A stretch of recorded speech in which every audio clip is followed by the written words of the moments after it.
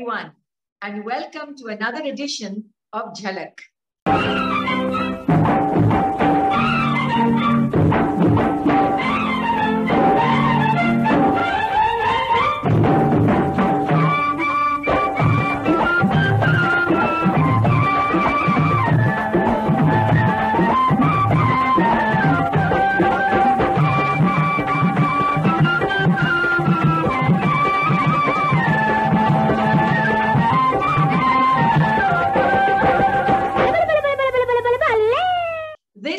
Series that gives you a first glance and early access to what is to follow. Today, we are going to focus on an amazingly prolific polymath artist. That's the only way I can describe Ghantasala. Now, for all you newbies and youngsters who are watching, you may not be familiar with the name, but I'm urging you go to Wikipedia after you watch this program and you will discover this amazingly creative artist who is celebrating a birth centenary. He was born on December 4th, 1922. And in his memory and his honor, his family, led by his daughter-in-law, Parvathi Ravi Ghantasala, her son, Mohinder Ghantasala, and niece, Nandita, they have together anchored, ideated, and produced a year-long series in memory and in celebration of this amazing, amazing genius, national award-winning artist. Now imagine Ghantasala, who, uh, whose voice uh, appeared in so many South Indian languages, including Hindi and Tulu, and I think he has more than 20,000 songs to his credit. So this program is not just to describe him, but to actually, the Jhalak is what Parvathi and her Kala Pradarshini Foundation have done is they are launching a folk arts festival. Because apart from the film songs that Ghantasala Garu rendered, he sang so many folk songs that became immensely popular in cinema. So to talk about this folk arts festival, that will launch on December 4th, which is just coming up in a few days, and which also marks the beginning of the 100th year of Sri Ghantasala. We have with us Parvathi, Mohinder, and Nandini. Thank you so much, Nandita, sorry. Uh, thank you so much for being with us. Now, I'm starting off with Mohinder, who is the grandson, because he is, in a sense, what his other two family members call the master puppeteer. So, so Mohinder, tell us, you have uh, kept your grandfather's memory alive in so many ways, but why a folk arts festival? First, thank you so much for the opportunity. It's really exciting to actually talk about this and, uh, you know, the giving the prominence to folk arts. Um, my grandfather was a very humble person. He came from a village, and thanks to him, we are all city bred. We've, we've traveled international, and it's you know he, he was the seed. Um, and many times I've heard stories from my grandmother as to how he struggled during his, uh, you know, as he was growing up, and how he eventually came up to the city, and then opportunities opened up for him. But one of the things that uh, resonated strongly was the struggles that people go through in the villages because he was not um, a film musician before he came to Chennai or before he came to a city. He was also performing folk music. He was performing at temples as a temple priest, as a temple Brahmin. Uh, so everything revolved around the village and activities of the village uh, that he lived in. And subsequently, he came to the city and opportunities came, and then he, he entered the movie industry.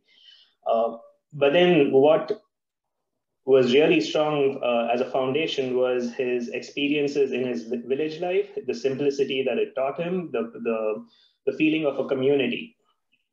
And when the pandemic hit us, uh, the first thing that uh, all of us were like, okay, let's go buy the groceries, let's see this, uh, seeing my mother, oh, my st students are not coming, my programs are getting canceled, my international students are not able to come in the first thought was obviously that, but as the pandemic, you know, as we got adjusted to it, then reality hit us that we are all privileged. We are all privileged to be in the city. We are privileged to have a house. food is not a concern. All those things are not a concern. And then as we started discussing, uh, it hit us hard that we are privileged and we have the ability to help others. And every year we've been doing this uh, birth anniversary celebration for my grandfather, picking up different songs, um, you know, bringing in artists from all over the place. And we say like, okay, the people we are working with are already well known, popular, stalwarts, exponents. But then there's this one set of people where, you know, they don't have this access. And that is where it came up that how do we get this access, this privilege that we have as internet, as social media, how do we take this to them? That's that that was how it all started off. And then, you know, it was very easy for us to connect with all the stories of growing up and stuff like that to quickly connect. Yes, we need to do this. It's important we do it now and not later. So that was the. So that was the seed. Uh, you know, in reading his uh, about him, he also went to jail because he also participated in the freedom struggle. So it's it's quite a storied life. And um, you can't think of um, a certain generation of Telugu actors like Nageswara Rao and N.T. Ramarao without the voice of Ghantasala, you know? Yes. And um, so he's, I mean, he really straddles, he is like a colossus for that generation. But we're coming to Folk Arts Festival. So uh, I'm, my next question is going to Parvathi, the daughter-in-law of Ghantasala, Mohinder's mother. So Parvathi, you yourself are such an accomplished uh, performing artist. And through the Kala Pradarshini Foundation, tell me when you decided to uh, actually uh, once again, once again, sort of afresh film and videotape uh, some folk songs that your father-in-law had made popular in cinema. How did you choose the folk forms between Tamil Nadu and uh, Telugu country? Um, first of all, namaskaram. I'm so happy that uh, Anita ka, you are really supporting our uh, program. Um, as I was, uh, as my son told, we've been doing this for a few years, taking his songs and uh, performing with the different artists and different art forms also. So when I happened to go to Mahabalipuram festival, during the inauguration, I met lots of folk people. So something triggered me that um, such beautiful people, we should give opportunity, but how to give, how to really bring them. So during this pandemic, as we were discussing, my son told, why don't we do some folk items, folk pieces. So we started working on that past two, three months. And along with my niece, we three of us uh, exchanged our views and ideas how to bring them. Then just like that, uh, we started listening to his songs, his folk songs, especially from different uh, movies, which were very, very uh, popular. Like, as you said, N.T. N.T. Ramarao Garu, Nageshwaru Garu, all these people, they really used to dance uh, for his songs. So we connected those songs and uh, uh, there is a wonderful folk people. We invited them. We invited them. Folk, it is not a free hand. They have their free moments. Folk people generally. All tappatam, uh, poikal gudre, so many varieties. They have their own uh, way of doing the styles. But I insisted, according to the his song, you have to enact. And these folk people, they really practice so well. And it really gelled. We gave them 10, 15, two weeks time, we gave them to practice. So we started taking the songs and uh, it happened like that. We went to Dakshin Chitra for the shoot. Uh, actually, uh, Mohinder was telling, just like that, don't take, you need to shoot. So many ideas were cropping every day, new, new ideas. So we uh,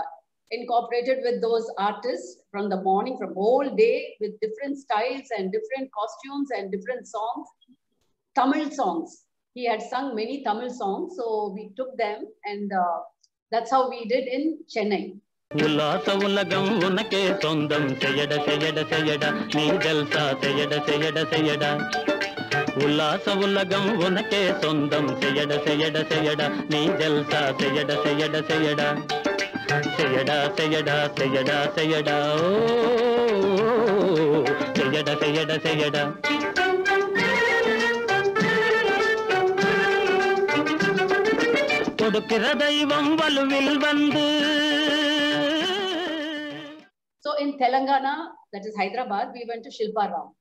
They gave us yeah. Shilparam. So they also were very, very uh, beautifully over there. We uh, said got some few folk people and uh, we, we had to shoot over there. So now my niece is uh, taking the movies and just incorporating with uh, this folk, our folk, and uh, we are planning to do all this work. Work is still going on. That's it. Of course, Of course. Well, um, uh, Parvathi has just mentioned the names of two places. Dakshina Chitra in Chennai, just outside Chennai, is a beautiful center where they have reproduced the architecture of the four South Indian states by uh, rebuilding traditional homes. The homes from their area have been brought brick and mortar and rebuilt. So it's a beautifully scenic uh, backdrop for the Tamil folk dances that Parvathi has just told us about. And in uh, Hyderabad, Telangana, she has gone to a similar place called Shilparamam. So the backdrop is very picturesque. But Nandita, I'm just, I'm putting you as field producer and coordinator of this project, right? I'm giving you the title. Um, you know, one of the things that um, none of us have uh, re- really realized uh, deeply is that folk artists in their smaller uh, towns, the connectivity has been so bad during the pandemic. And uh, they've not been able to either live stream or broadcast or even share any of their art during this almost two years. And without any government support, which is almost nil, I think they've really and truly suffered. So when you met them, Nandita, what was the first kind of uh, reaction from them? I mean, the, a human reaction from them that when they were getting ready to perform? I think the first thing which struck me was they're very, they're very, very earnest. They're very true to their art. It's you know, it's not just about performing it. What I saw is they're living it, uh, and that's probably what it is. You know, they're they're pretty much what I call the sons and daughters of the soil. That's in fact how I've introduced them as well in the videos, uh, and that's exactly what I felt. And the, they were so grateful uh, you know, that they had this opportunity to perform. It didn't matter to them, uh, as Auntie said, you see, they're more um, free, free flowing artists. You know, they, they, they, they perform what they feel. But this was a little more restricted to them, but it didn't matter to them they, uh, that they had performed to these film songs, but they were just happy to perform. Uh, so this is what uh, really touched our hearts when we saw it. And we were in a way grateful that we were able to offer them this this kind of an opportunity. Um, yes that's that's that's what we saw. And i guess uh, as mohinder says uh, it's it's uh, what our grandfather laid for us you know the, the humility. And uh, he pretty much believed that we need to help everybody no matter who they are. If somebody comes knocking nobody should go back uh, empty handed or even without food. So pretty much that's what Paru Auntie did as well this time. So yes. Well, you know, we, we Tamil people say that Telugu people are Bhojana Priyas. You know, food is very, very important to the Telugu people as well as celebration. But Mohinder, you're sitting in Brussels, okay? And the three of us are here in Chennai, and we're talking about a folk arts festival that is happening between Tamil soil and, you know, Andhra soil. So um, from your point of view, Mohinder, um, did you have any interactions with the folk artists during the filming? Were you able to talk to them? Because, you know, this is a hereditary practice. It goes family and the men within the family or the women within the family. And it's not like a modern day classical dance, you know, where anybody and everybody can come in. So did you have any long distance interactions with them? What were, what were your feelings or takeaways? For me, uh, specifically during this, uh, during the shooting, I did not, but during the planning phases, uh, because I was there about three months ago when we started this whole discussion. Um, and I was there during the Mahabalipuram uh, festival inaugurations, like every year we used to go. That was one of my uh, December holiday retreats, I would say, uh, every time mom performs there. And every time we would interact with these artists, and I was a part of her crew. Um, help with something, you know, the small stuff any child would help uh, out with during the performances. And as my uh, sister Nandita just mentioned, uh, and it's not just from a dance perspective because I also learn Mridangam. So my I, I currently practice with uh, one of my assistant teachers uh, who's in Tanjavur, and I, I keep talking to him uh, very often. And he comes from a family of uh, Nadaswaram Vidwans. And the impact during the pandemic, uh, you, you, I wouldn't say that the connectivity is bad all over the place. There's a lot of improvements and developments, and a lot of this even reaches even rural parts of India now. So that's a good thing. Uh, but it's not as effective, I would say. So they, they still have bare minimum stuff and uh, they're going through a lot of problems. But my main, my, the, the main concern that was shared with me was uh, they don't have any concerts at this point. They don't have online classes. These are not things where you can have an online class and teach someone folk art. Uh, so for them, their main uh, sustenance is performances and classes, and that's gone. And when we spoke to these people, at a minimum, they were like, at least our name will come, no, sir. That was the level. And, you know, that really, uh, you know, uh, we really felt strong that we should go ahead. Like, I know it's difficult because the first thing when we discussed this as a family, they were like, oh, how will it be to have actual folk artists perform for a movie song? We got a lot of negative feedback. like anything, we typically get negative feedback first. And we were like, no, I don't care about negative feedback there are people who are struggling. They are folk artists. My grandfather's songs, you know, I mean, the beauty of his songs is you can dance anything. You can fit any dance to, you know, the right kind of song. Mm. So it does not say it has to be only this or only that. No, but the point is the songs themselves that he sang have a folk flavor. So it's not like you took, it's not like you took a romantic love song duet exactly, and asked yes. them to do a folk dance. Yes. So you're staying within the genre, it's just a different medium. Exactly. I mean, yeah, so people tend I, I think my mother spent my mother has spent a lot of time, you know, in picking and choosing the right songs and then assigning it to the various folk artists. Obviously, we can't give them one song and say, go and do this. We gave them a list of songs and said, okay, here, here are your options. Now, within your framework of what you can perform, select a song. So we gave them a broad framework and said, okay, in your form, so if you have to do the Poikal Gudra, they, they, they would have selected a song that could be adapted to it. But yeah, the, the main thing was, uh, you know, showcasing in today's world. So basically, I mean, you can call it in multiple ways. You can say old wine in a new bottle. Uh, you, you can say making, uh, giving them an online window to showcase their talents you can put fancy words to it, but what really hit us was these guys do not have real opportunities to be showcased. And that was our only thing. Well, it, this is something obviously that you have uh, funded from your own foundation because sponsorship is, uh, you know, really, really almost nil for the arts, and it has been for the uh, for the last 22 months. And it is a labor of love. I completely understand that. Uh, but uh, Parvathi, I want to ask you a question. Were you involved in the rehearsals? Did you see uh, see them creating the work? Did you make suggestions to them? Uh, you know, why not do this? I just want to find out uh, at how much you were involved in the process. Yeah, when I gave them uh, the songs, especially Friends Folk Arts, that's a, a institution by themselves. They are all very young dancers, folk artists, and they have come from very, uh, what to say, uh, uh, they were actually street dancers. Okay. That group was a street dancers, and uh, slowly they they got their own uh, teachers later on, folk teachers. They went and had their training, and they are very popular now. So when uh, when I gave these songs, how to do akka, please help us. So they came, all of them came home, and I told these songs I was listening to the song and uh, trying to uh, tell them, you can have it like Poikal Godre, you can do this like this. Then Mama Mama, one famous song, you can do like, I was giving suggestions, lots of suggestions. Because even Telugu songs were there for them. And they don't know the language. But the beats, They were doing exactly how it was in the film. Mama, mama,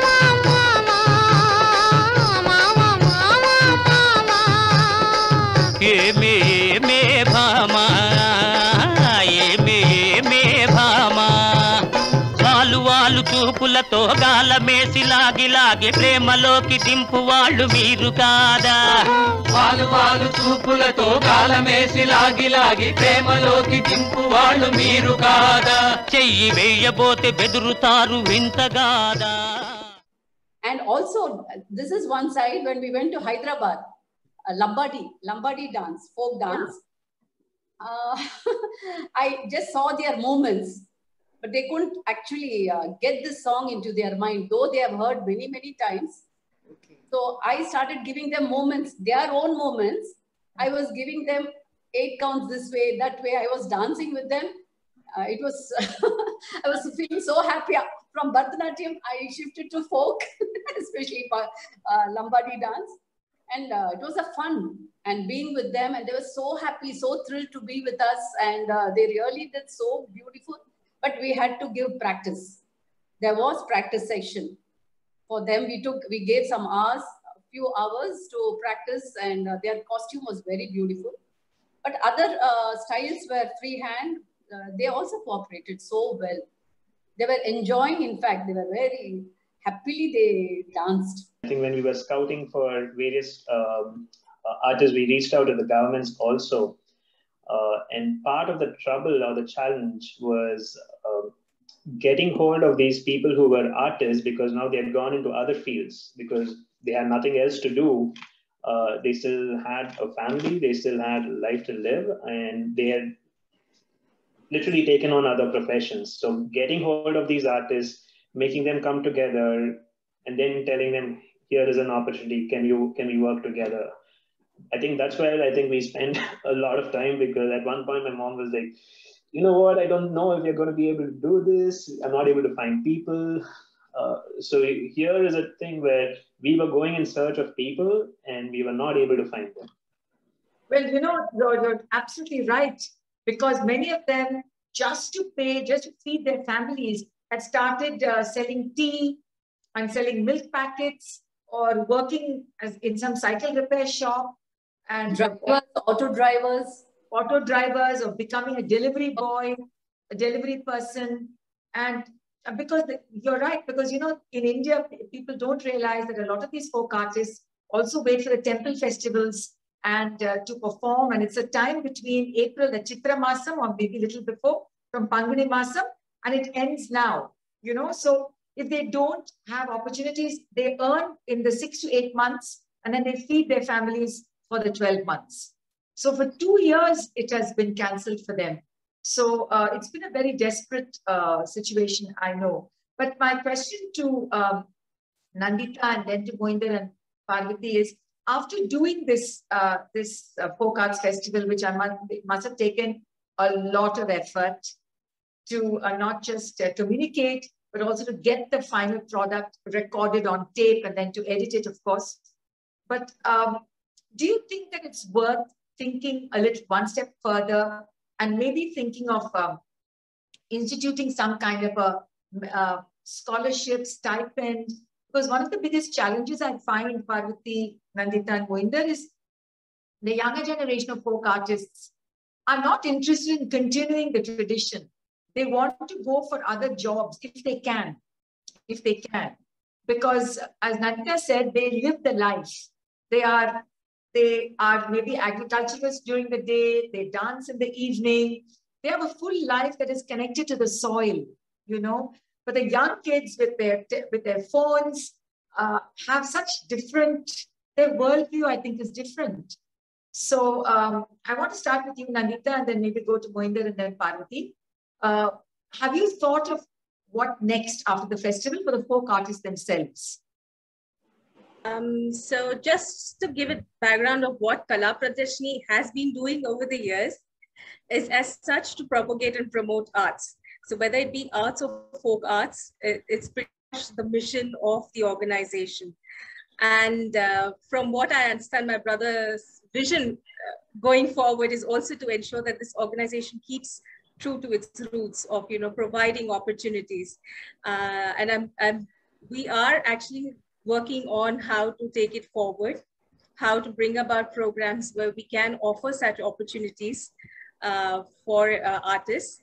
And also to it not just providing opportunities but also to be the connect between them and other uh, organizations that may be able to assist them. So that's the vision going forward for Kala Pradarshini. Mo, maybe you can elaborate a bit more because, as I said, he's the puppet master. Uh, he, he's the brain behind everything. So probably more, you want to take it forward from here and explain? Can I just, yeah, can I just say, Mohinder, one of the challenges uh, with the with the folk arts is not just the performers, the instrument makers as well.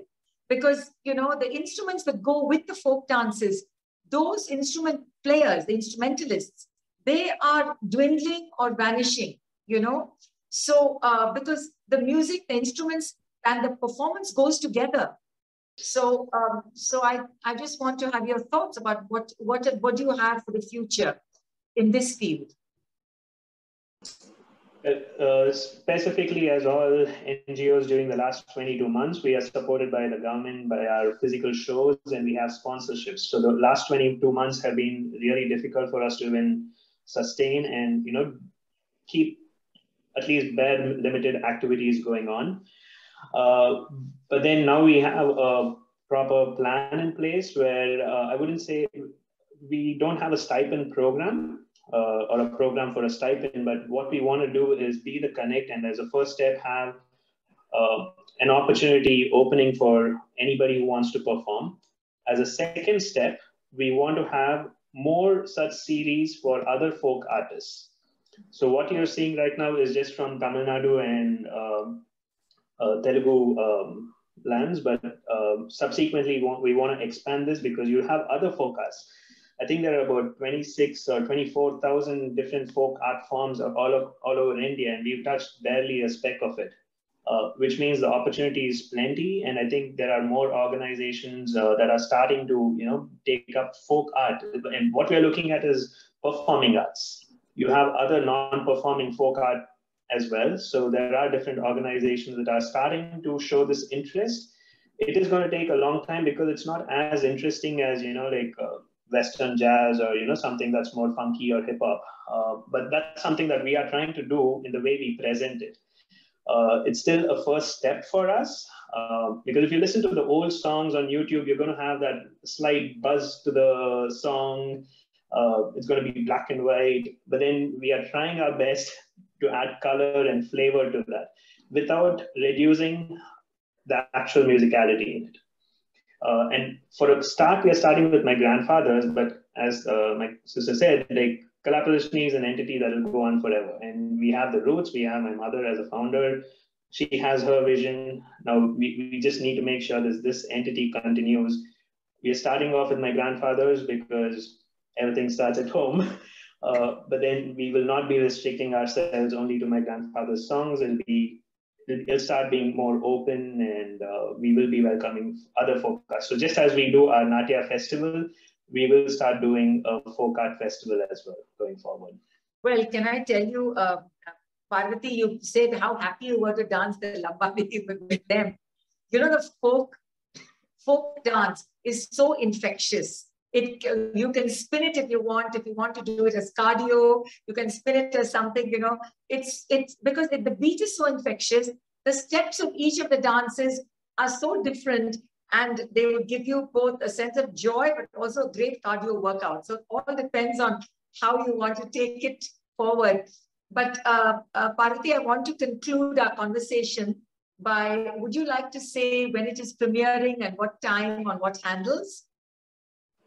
Uh, I also like to tell you something about the folk arts.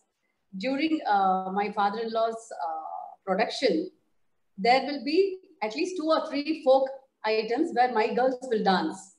Okay, your students. Okay.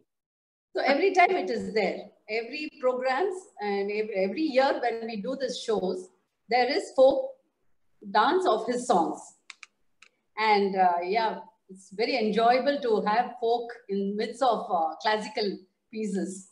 Well, I'll tell you, uh, when I did my Arangetram, we had to have a Korati dance, which is a Uh. folk dance. And Yes. uh, now all Arangetrams are having some kind of a folk tune in it, which is a Murugan Valli. So it, it also has, it breaks a little bit and it, it makes the audience sit up a bit after this long Varnam. So I think, the, and the folk tradition is very much part of, uh, I would say that the, the Tamil performance tradition, Parvathi, it is, I don't think it has been so separate for, uh, for it, with, even within the Bharatanatyam world. To have a folk dance was very natural. So Yes. I I'm glad that you you have always had it, and I'm glad you're in the waits, you're coming back. But um, maybe I can conclude by saying thank you to all of you for doing this for the folk artists. And it um, the series uh, premieres on December 4th, which is a Saturday, at 8 p.m. on the Kala Pradarshini YouTube uh, channel, as well as on their Facebook pages.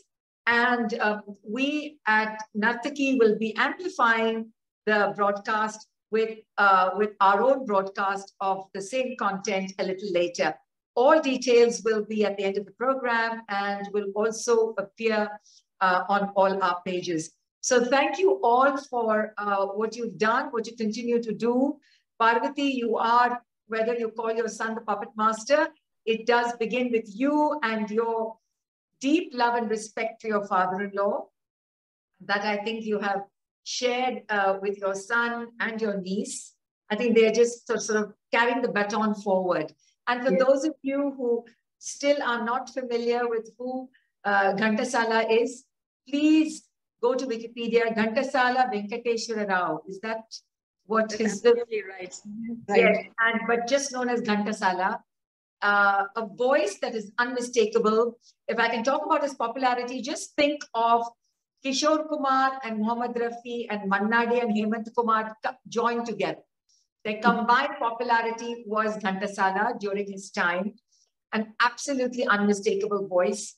And um, you can also listen to his voice because it's uh, thanks to digital media, you can listen to some of his songs.